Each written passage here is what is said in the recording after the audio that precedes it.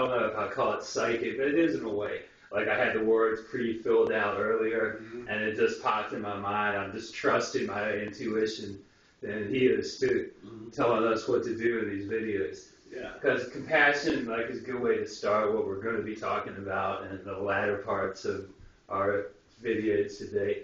Yeah. Like, you know, well, we had some other stuff we're going to talk about that, uh, uh, a little more stuff. You know, we'll be talking about murder and forgiveness and and violent death, understanding and Mhm. and feelings and living with that and living with having killed someone. Yeah. we tell people who, killed people before, Well, we like talk with them and I like to call them coping, coping, coping mechanisms. Yeah, coping mechanisms. But it's more than this. We teach more than just. Well- we don't teach them to cope. We teach them to dissolve this stuff, to get past it. To, I know. I mean, when I say coping mechanisms, I'm thinking more like um, how people cope with anger, how people cope with love, how people cope with this and that and the other. You know what I mean?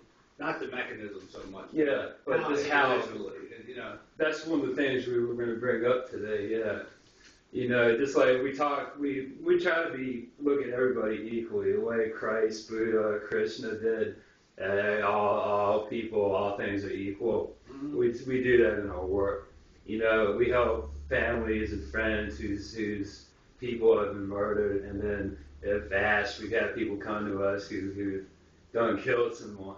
We'll talk to them too. You know, and we don't tell them nobody. You know, I mean, I think we just sit and talk to them. We've done it before. I've done it before. we- I just do it compassionately. We You would- know, you know, we would do the best we could on the streets if somebody just randomly come up and said, "Help me." Hell, I had just, I just shot someone. What if that happened? I, I would sit and talk with them. I wouldn't be like, oh, I'm going to call 911. Yeah. I mean, forgive me. Some of you are going to be angry, Brad, that someone said that. I know that already. Well, Some of you listening would be like, what? You wouldn't turn them in? I, I honestly, I would say, no, I can't really say that because it's like, me add, like your doctor. Let's say you go to a, a counselor or a social worker a psychologist, psychiatrist. They're, they're not allowed even if you say you killed someone or done that, you you know, they're not, they're not, they have privacy laws and stuff. We don't have that on us, but we respect that. Like this is spiritual privacy. You got to be able to well, help people. priests, in a way, priests don't. They, they, They're not, they- yeah, they're sitting there in the confession box and Yeah. all. Let's say, yeah, the confession box and then the Catholic Church. Yeah, they don't run out the box and Box. spread every word. Spread everything, all the rumors and Yeah. all. Yeah, that would be not good spiritual teaching at that point. Cause we've heard a lot of stuff. I mean, over the years. I mean, over when I was growing up, and I always had lots of people coming for help. And then once I moved into because in my spiritual path, and Jeremy and I doing this for our our life work here. You know, like it just happens more and more. We hear all kinds of things. There's, there, we heard a lot. well, because people hold back, man. Like you know, like They're afraid to let out the feelings. I mean, Yeah, regardless of what situation you I, might be in. I would love for people to run up to me every day and ask me for some type of help. I would do the best I could, man. If I could do that all day, you know, I would do it. You know, I think it's uh, not that it wouldn't be an overwhelming feeling sometimes, you know, but at the same time, like, isn't it what it's all about? You know, Yeah, you know, helping and compassion for people and living things like, uh, that's right. you know, try not- Compassion for all all living things. yeah, try not to step on the ants if you can, you know, Yeah. and stuff like that. You know, We're back to compassion again, but it all interlinks. yeah. Because all this stuff is going to go into the other stuff we were just talking about too, but we're going to discuss Well, I'll give you an example, man. Uh, this just come to my head. I wanted to say it, Uh, and I'm not trying to talk bad about my my son or anything. He's young. He's only six, yeah, but he saw a moth flying around, and he it landed, and he, and he was determined to kill this moth, you know. And uh, he, he's getting his foot up, and he's ready to just smush the moth. And I was like, no, I intercepted him. I was like, no, you cannot kill this moth. And he's like, why? And I'm, you see, the thing is, like, I could have let him kill the moth, you know, because he's young and he's a boy and he probably needs to learn for himself. But at the same time, like, save the moth if you can, you know. that's right. Let it outside. Yeah. Even a roach. I've taken roaches on outside in the oh, house. Oh, yeah. before. I've seen a roach and put it in a little napkin so I wouldn't crush it hard in the hand and just put it lightly so it couldn't get out either. Yeah. So I got it outside and let it out. Well, do you notice like if you kill one bug, you might see five more in place of it in the house? Yeah. You know, so get let one go, you don't see no more for a while. Yeah. yeah. It can happen like that. It's, it's really weird like that. I have very little bugs and uh, flies in my apartment. That's right. Same with me. I don't have any really bugs at all. I take keep taking them out. yeah when they come and they don't come, but there's very few. I just take them one out.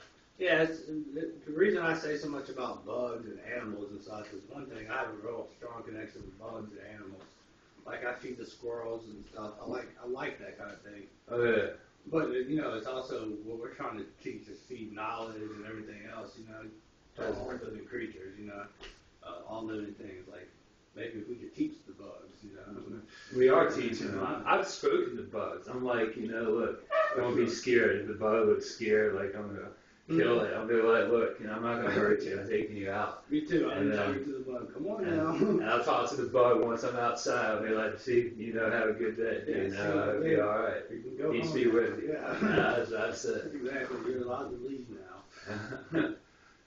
but um, it's compassion is going to be part of healing. Uh, like healing um, anybody's soul, our souls, and your feelings within. Yes, you got to have compassion. I think that comes first and foremost for yourself and for others because it's going to be both. You can't just have compassion for yourself and no others, or compassion for others and not for yourself. Right. It's going to have to be both. Yeah, So- you know, you have to spread. You know, and um, well, I was gonna comment on something, but I forgot. I'm sorry. Oh, it'll come back. You know, everything pops up at the right time. Yeah. Well, you know, like um, I was gonna say that you know, people like if they they should try not to. Um, I forgot what I was gonna say. It's just on the tip of my tongue, right there. Right. know? Well, let's talk about something else. I remember earlier when I couldn't remember the dude's name, and Yeah. then I said I'm not going to think about it, and then as soon as I did quit thinking, I, I remembered it. Yeah. But um, we're here, like like we said, like we're to do, we'll be doing this uh, more and more, and it helps us. You'd be surprisingly teaching you all and helping you guys. It helps us Yeah. develop spiritually even more. It helps Oh, yeah. us. confidence and things like that. I had a lot more confidence after doing a lot of videos and things. And, and see, saying that is, is, is saying that, okay, I wasn't confident the day before. But see, that in itself was trying to give yourself some leeway, you know? Yeah. You know, but I gained some confidence from then people say, oh, is, that is he a weak man for saying that? Or cry in front of other people? That's Yeah. another one. You, if you can cry, cry in front of people, cry in front of them, you know? If you, if you can, you know?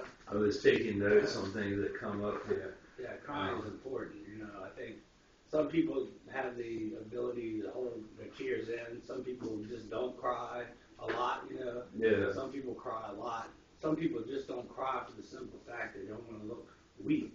Yeah, that happens all the time. Yeah, a lot of the wrong reasons not to cry, though. You know. It's like we see like um spirits cross over and then like, you know, then you know, some of them still trying to be hard on the other side. Yeah. And then but I we sat and told them, look, it's alright to cry. We said that to them before to various people and then help people open up. You know, we can even do it. We help we don't have to be physical people, we help the spirit world. spirit world too. We help them too. Yeah, because they go through all that. You know. They go through all this pain too, sometimes crying, crying and all. yeah.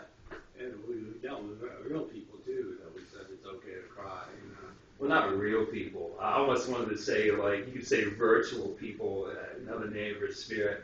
But No. real people are real regardless if they're here and these bodies are there. No, I just wanted to clarify that you just for their benefit. You already, I know you know, I got you. Not real. I mean. Uh, in bodies, physical yeah, bodies. Physical touching abilities. You know. Well, Let's close up for here because we're about to run up to. We're going to keep these videos at 20 minutes because Facebook doesn't allow videos over 20. It's probably about it's about 18 and a half right now. Okay. So we're going to close up. We're, but we're about to do part two. Peace. Peace. And make sure if the timer was right. Yeah, 1830 exactly. Just like I just said. It says, see how I was right. I said it in my in my mind. I said about 18 and a half. It was 1830 the moment I looked at it. Is it still recording? Yeah, it's it's there. right about 19. All right, y'all. I'll be right back with part two. Peace.